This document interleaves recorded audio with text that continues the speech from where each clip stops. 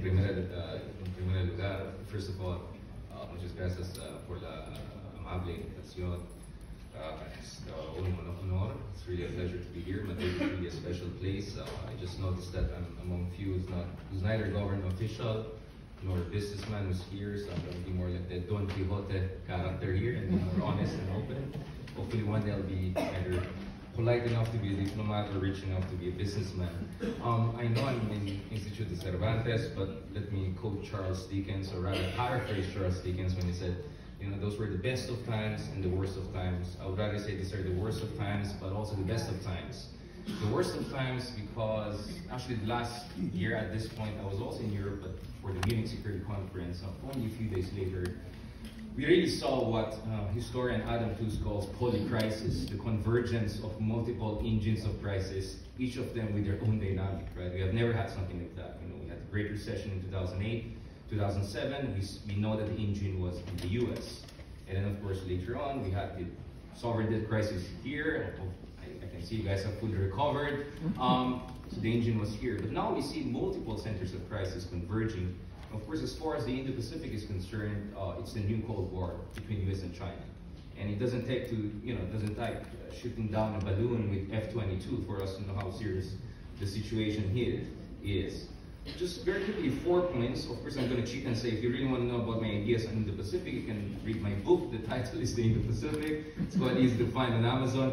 But first of all, let me, so four quick points. First of all, as far as the Philippines and uh, Spanish relations is concerned, we always say it's a special relationship, but we want to make sure it's not the kind of special relationship that United States and United Kingdom have, right? A very asymmetrical special relationship. We want to make it as symmetrical as possible.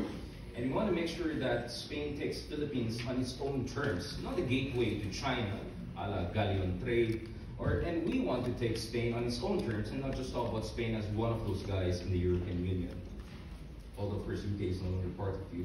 Now, the thing about Spain, and I always found this fascinating, is the transformation you have made in the past few decades into becoming really a full-fledged industrialized country and really a progressive democracy. I, mean, I usually visit Barcelona, I can see how the anarchista, Marxista, all are having a great time. And I wonder when we're gonna have that back in the Philippines, but now become the Don Quixote. Um, and we knew, we know that not long ago, just half a century ago, the situation in Spain was not very different from the situation in the Philippines back then. You had your own caudillo, we had our own caudillo. So this transformation is something that I think can serve as a role model for the Philippines as we try to also become a much more full-fledged democracy, stable, and more industrialized country.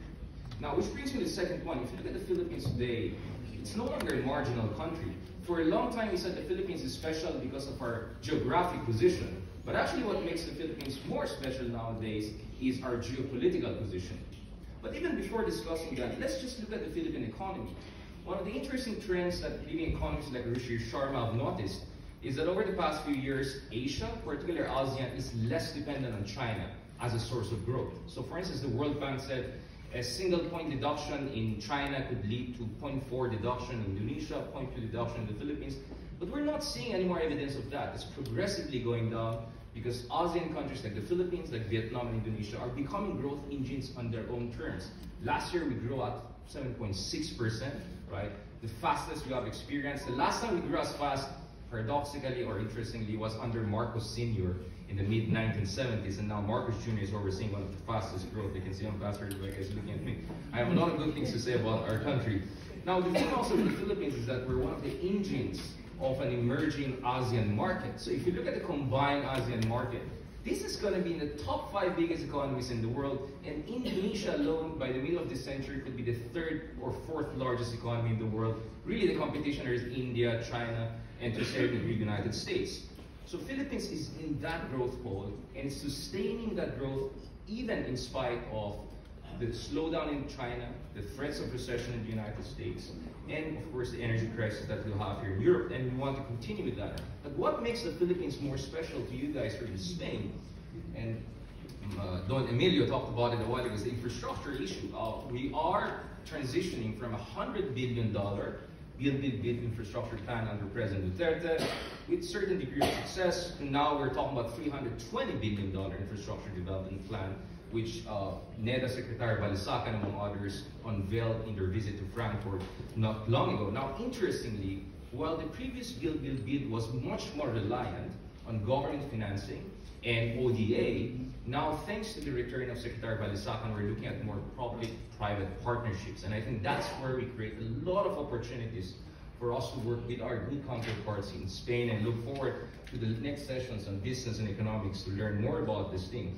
But the other thing that makes also the Philippines very interesting is other sectors that we don't pay attention to. For instance, the fintech sector in the Philippines is going to be $44 billion strong by next year.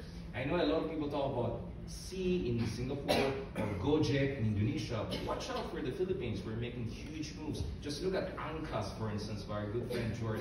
Just in the past three years, you know, now it's in a good position to be a unicorn. Uh, in the coming years, and much, much more is to come as digital economy transforms the Philippines and its place in the world.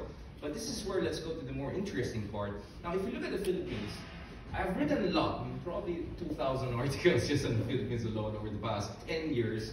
I've criticized almost all presidents. But let me say, let me put it this way.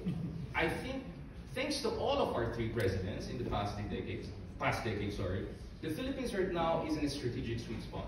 Aquino proved to the world that the Philippines can be a responsible stakeholder and also a middle power in its own right. Our arbitration case in South China Sea is very much a denouement of that.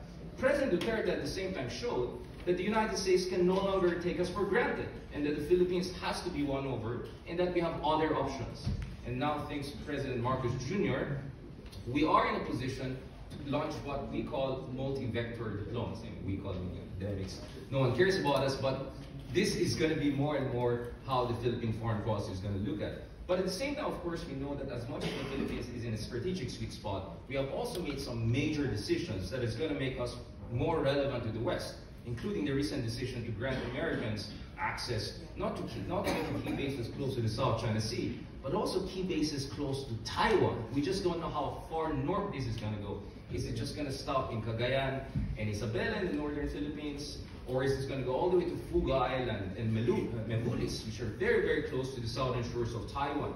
So as much as we are diversifying, you know, trying to build relationship, golden era with China, great relationship with the United States, we are very much pivotal to the future of America's strategy in the region. And this is also important for us because we want to have leverage when we deal with China. We want to have a say and to be prepared for whatever contingency could come in the South China Sea and Taiwan. I'm going to the last point.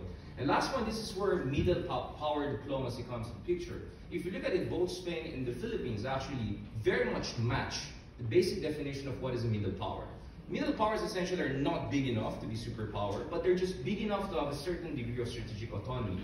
More than that, they have a certain level of influence and prestige and respect that they enjoy, and they have coalition building capabilities. I think the Philippines has proven that I think our good friends in the DFA have proven that on so many fronts over the past six and seven decades.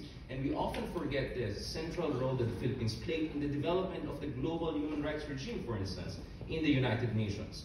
And even with the changes of the administration, you can see, in fact, the Philippines is the only country in ASEAN that consistently favored Ukraine as far as any major vote came out. You know, thanks to our current Secretary and former Ambassador to UN, Manalo, among others, we really took a principled position as far as the Ukraine issue is concerned, without unnecessarily, of course, antagonizing China, uh, Russia, right? Which shows the sophistication that the Philippines is bringing to the diplomatic picture.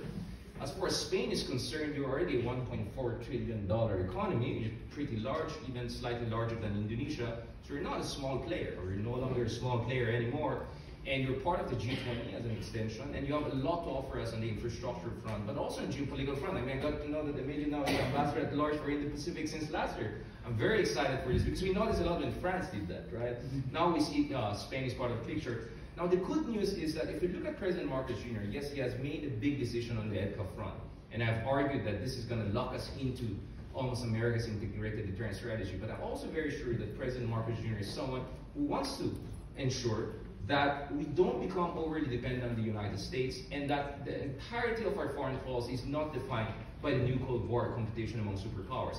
And that is why I'm very confident that President Marcos Jr. in the coming months and coming years, I think a, a visit to Elysee Palace could also be in the works after his visit to the White House later this year. He's going to reach out to Europe and he's going to reach out to you, our friends here in Spain and others, because we want to make sure that our foreign policy is as diversified as possible and that we make sure that we can make the most out of EU's own pivot today in the Pacific as you guys recognize the importance of the region. So in short, I think we're in a distinct position to recognize each other's merit on our own terms.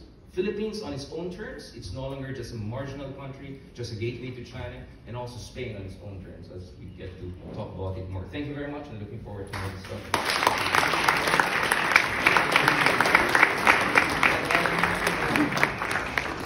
Thank you very much.